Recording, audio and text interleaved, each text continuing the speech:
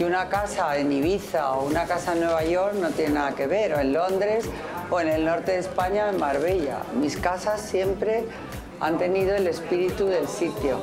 Mi casa de San Sebastián, que era una casa como un caserío vasco maravilloso, pero solo admitía muebles ingleses, muebles un poco pues provenzales, y, y le metía mueble francés y es que era un horror, había que quitarlo.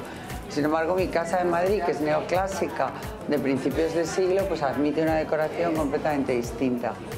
Y sobre todo, que tú te identifiques con ella, que digas que a gusto estoy. No que te la ponga otro, que dices, ah, pues sí, mira, parece un hotel, qué decoración, pero resulta que yo no he participado en nada de esto. A mí estas casas modernas de diseño, que todo está impoluto, que todo hace juego con todo, es que me ponen, o sea, me da una, No me gusta nada, me gusta una casa muy acogedora, muy cozy, muy llena de tus cosas, que a lo mejor hay una cursi otra maravillosa y tal, pero es lo que tú has comprado, lo que a ti te gusta. Cada casa es como una mujer, sabe lo que necesita, qué le favorece, qué rechaza completamente.